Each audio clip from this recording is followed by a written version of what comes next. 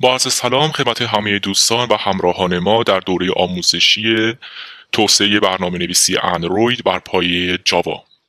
در این جلسه قصد داریم با ساختاری تحت عنوان اینامریشن و یا حالا کلید واژه اینام در زبان شیگرای جاوا آشنا بشیم. برای اینکه بتونیم راحتتر در, در این رابطه صحبت بکنیم بنده از قبل یک پروژه رو در محیط اندروید استودیو ایجاد کردم تحت عنوان اینام پروژکت و قصد داریم در یک پروژه اندروید با نحوه ایجاد یک اینام و چگونگی استفاده از اون و اینکه کاربرد یک اینام چه هست در این جلسه آشنا بشیم. بسیار خوب ببینید دوستان من ما در جلسات قبل با متغیری از جنس بولیان آشنا شدیم. و خدمت شما دوستان عرض کردم که متغیرهای از نوع بولیان در حقیقت دو مقدار ترو و فالس رو برای ما می‌تونیم دقیقه براشون در نظر بگیریم.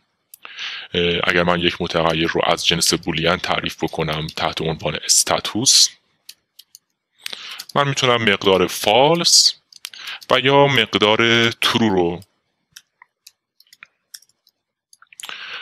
برای این متغیر از نوع بولیان در نظر بگیرم. و اگر بخوام به عنوان مثال وضعیت یک چیزی رو چک بکنم از دستور شرطی ایف استفاده بکنم و یک این استاتوس رو چک بکنم من دو وضعیت پیش روم هست یا فالس هست و یا ترو اما بعضا ما در روند پروژه هامون مسئله به وجود میاد و ما قصد داریم حالتهای مختلفی رو بیش از این دو حالت رو که ترو و فالس هست رو پیش روی ما هست. خیلی ساده بخوایم بهش بپردازیم به عنوان مثال روزهای هفته. شما در وقتی که روزهای هفته فقط یارت دو حالت با دو حالت مواجه نیستید. شما چندین روز رو در واقع در پیش حالا رو دارید. شنبه یک شنبه دو شنبه سه شنبه چهار شنبه پنج شنبه و جمعه.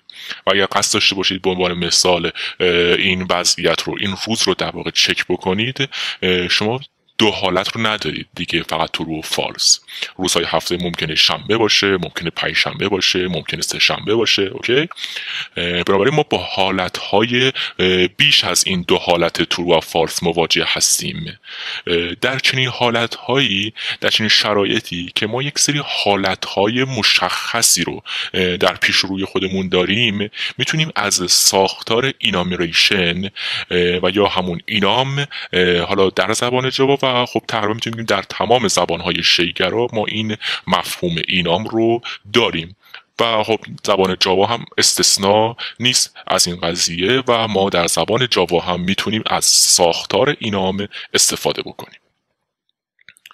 و طبیعتا در یک پروژه اندروید بنابراین مهمترین نکته اول این هست که چه موقع ما نیاز داریم از یک اینام استفاده بکنیم. خدمت شما دوستان عرض می کنم که زمانی که ما با یک سری حالتهای مشخص یک سری وضعیتهای مشخص یک سری تایپ های مشخصی روبرو هستیم. به عنوان مثل مثل روزهای هفته مثل وضعیت چراغ راهنمایی رانندگی. یا سبز یا زرده یا قرمزه. OK؟ مثل وضعیت دانلود. یا این دانلود در حال progress هست و یا در حال یا complete شده یا کنسل شده fail شده یا pause شده. OK؟ بنابراین وضعیت دانلود یک سری حالت مشخصی هست. می‌تونیم در واقع این حالت ها رو براش یک اینام در نظر بگیریم. خیلی خوب بیایم در یک پروژه اندروید ببینیم چطور می‌تونیم یک اینام رو به وجود بیاریم. من قصد دارم برای همین وضعیت دانلود یک اینام به وجود بیارم و همین حالت هایی که خدمت شما دوستان عرض کردیم رو اینامش رو بسازیم.